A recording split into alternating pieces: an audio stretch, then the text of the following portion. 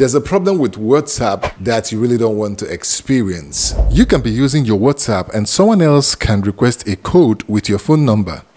And if they trick you into sending that code to them, they will take over your WhatsApp. You see, you need to watch this video, like it, share with people who are in your household, uh, your uncles, aunties, mom, parents, grandparents, because these are the ones that are always vulnerable to these, you know, scammers uh, that try to trick them into getting their one-time password and taking over their WhatsApp accounts. So let's jump right into it. Welcome back to Smart Depot. Some people can trick you and take over your WhatsApp account and use it to start begging money and ask people. And many occasions, many people have fallen victim of that, that I know personally and that I've heard over the internet. So the question is, how is this even possible?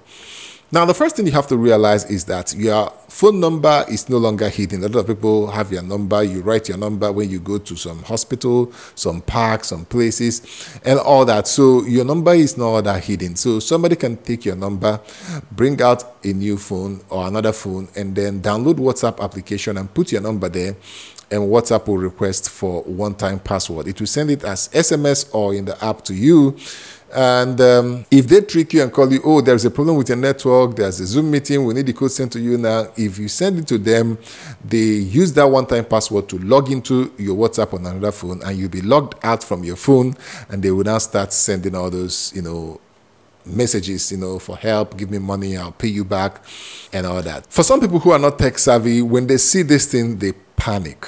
And, and that is the biggest problem. It's not a problem that you saw a WhatsApp code has been requested in your phone. That's not a problem. So when people see this, they panic. So once they panic, what do they start doing? They like um, start uninstalling their WhatsApp, wipe out all their WhatsApp, reinstall it. You know, no, no, no, no, no. It's it's not. It's no need to panic. If you see that someone else is requesting your code for WhatsApp, just ignore it. So you don't need to panic. If you panic, it gives the hacker, all these scammers, the opportunity to you know reach out to more people with your contact and also to even add something like two-factor authentication. I mean, they did this to my cousins' uh, uh, WhatsApp when they hacked it. They added two-factor authentication, but I was able to still get it back. And I'm going to show you more of these tricks in the part two of this video, so you don't want to miss that. Make sure you subscribe to see that video once I upload it.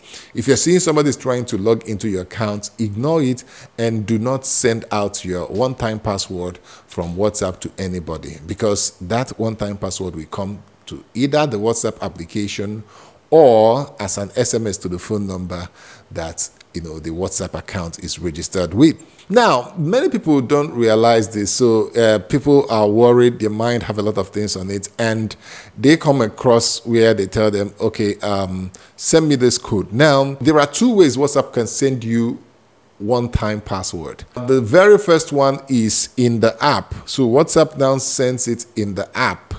So you will see it inside your WhatsApp application that someone else is requesting for a code and it will show you the code. If it is not, you ignore it. The second place is as SMS to your phone. So once you start hearing send me anything and the SMS now, the good thing is that the SMS comes from WhatsApp. The title comes from WhatsApp. Anytime you see a SMS title from WhatsApp, do not send it to anybody because that is the way they will take over your account. I don't care what they say, whether they Zoom, whether there is a a password that was sent to you, a pickup or something, whatever it is, do not send to anybody any SMS one-time password. It is, it is six digits that came with the title in from WhatsApp, that was sent from WhatsApp. Don't ever do that. You have to teach everybody around you, your uh, house assistants, your chef, your cook, your mom, your grandmom, your friends, your brothers, and say you have to teach them that any message that is sent that comes into WhatsApp should not be sent to another person. If you do that, you have lost access to your WhatsApp account. So this actually is the way to avoid it. So it doesn't matter how many times you see uh, somebody is trying to request access to your WhatsApp, forget about that. Ignore it and keep using your WhatsApp. And then finally, uh, this might be difficult for some people who are a little bit aged or who are not tech savvy. WhatsApp now have two factor authentication. So you can put in 2FA in your WhatsApp, but that might not be easy for people who are not um, tech savvy they might forget it and all that and they'll log logged out of WhatsApp. But that's another option. So you have to teach it. Go to your settings account and then you see security, two time, uh, two factor authentication. It's six uh, digits that you can put as a second. So if somebody managed to get your one time password, they might still have to put that two factor verification before they can fully take over your WhatsApp. Then the third one also is your email. So you have to verify your email in WhatsApp so that if somebody even takes over your account, you can now go in there and then ask them to send a verification code to the email that is verified and then if you get that email you can get your account back. Now it's important you do this because some of the things that these scammers do is that once they take over your account the next thing they do is that they put in the two-factor authentication and they also put in their email. So once they're able to do these two things it becomes a little bit more difficult for you to get your whatsapp. But of course there's still a way to get it back and i'll do that in part two. So that's another reason you need to like share subscribe and make sure you follow me to get that when I release that video. Uh, I hope this is helpful for someone out there and make sure you follow me for more interesting tech tips like this. Until I see you in the next one, it is peace to our world.